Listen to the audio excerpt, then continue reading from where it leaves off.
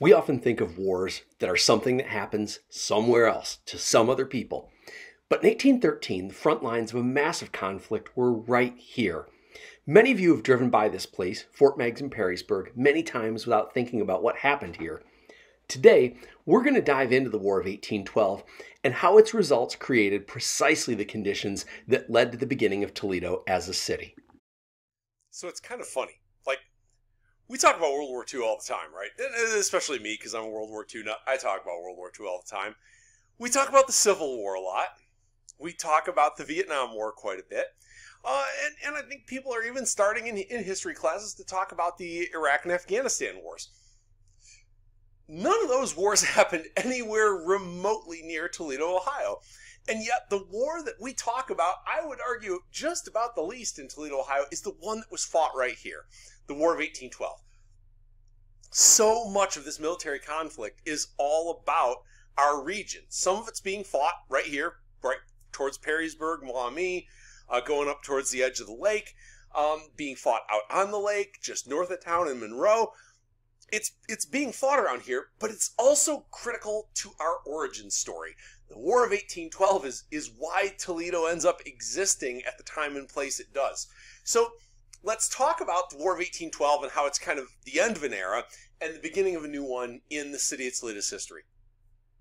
So, in the War of 1812, we find that most Native American people are siding with the British in this one. Now, if you contrast that this to the last video, you remember that the native nations basically aligned with the French against the British in the French and Indian Wars because many native nations made the calculation, the political calculation, the French are not as bad as the British, so we're going to team up with them.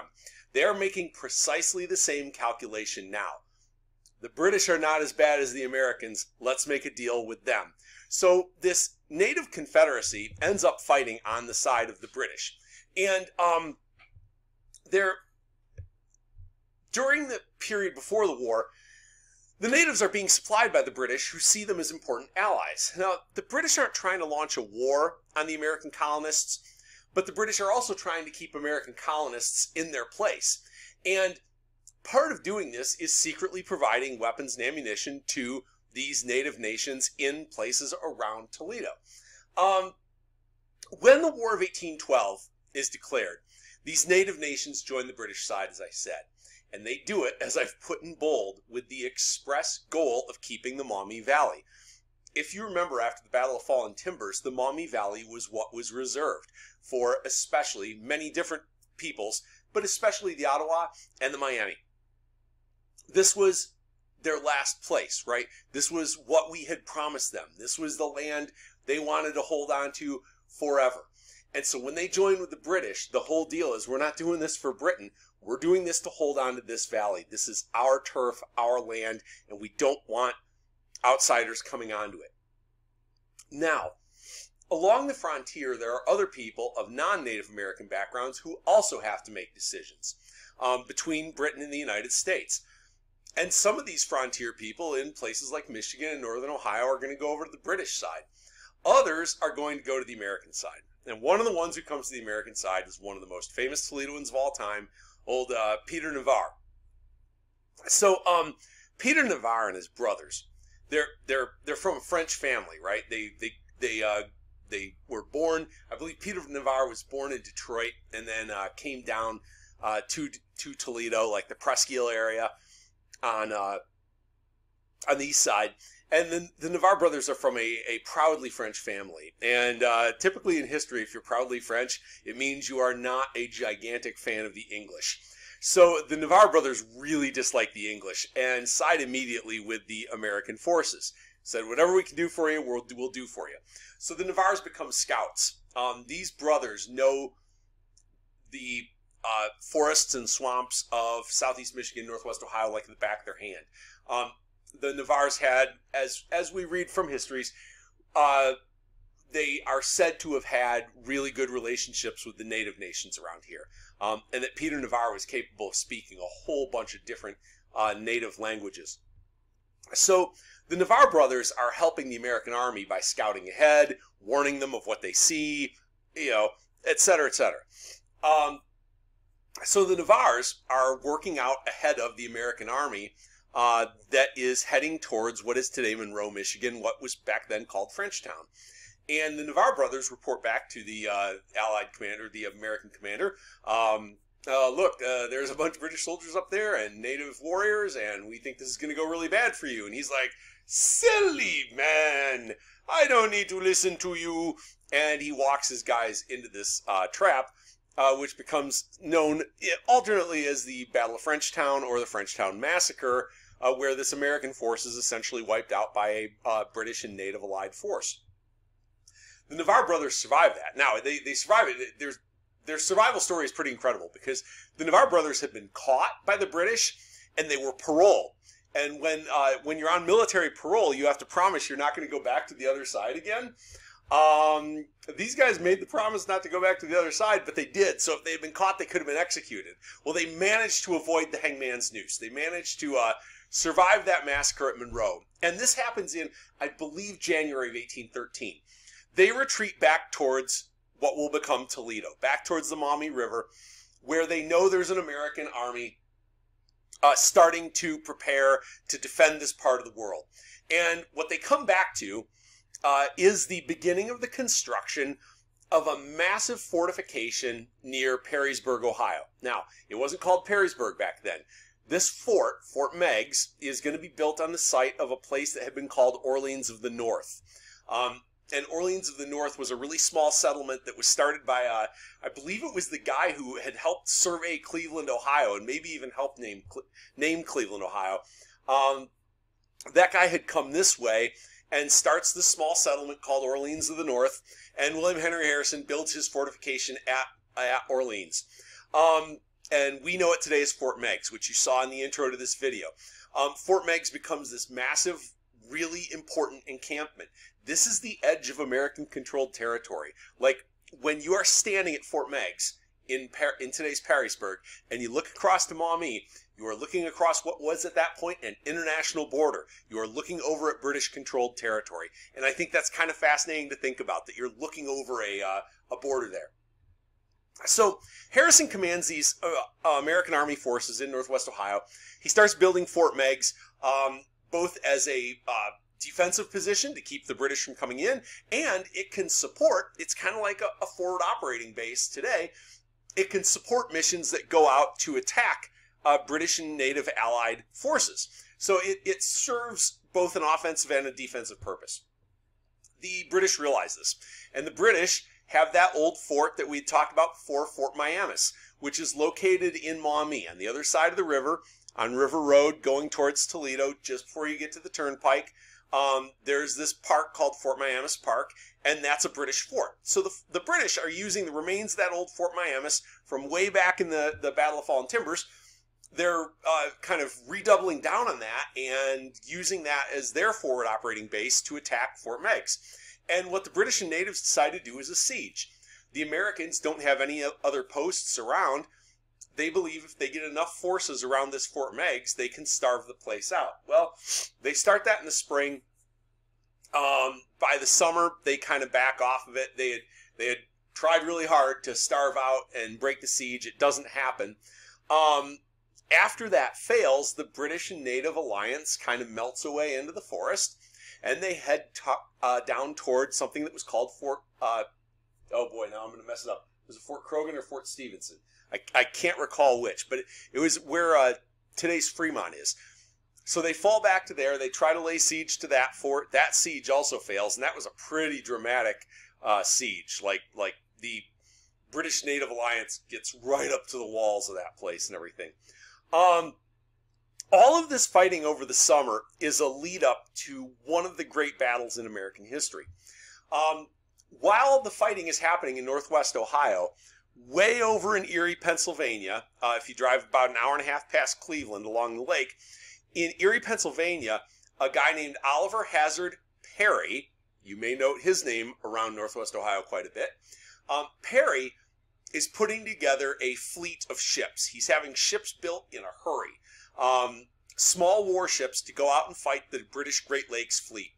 Um, Perry's uh, small, kind of rough ships get launched in August. Uh, he takes them out. They get them fit out. They train the crews because they had some some crew crewmen who had never been on a boat before who are now uh, being asked to fight a ship in war. Um, these guys head out on the lake in August. Uh, they start making their way for the middle of Lake Erie, uh, and they are at today's Put-in Bay, the party island, South Bass Island. Um, they're out there, and they sight the British fleet coming. And the British have decided they're going to commit their Great Lakes fleet to destroying this Lake Erie fleet uh, under Oliver Hazard Perry. Um, Perry and his small fleet very skillfully um, end up engaging the British fleet.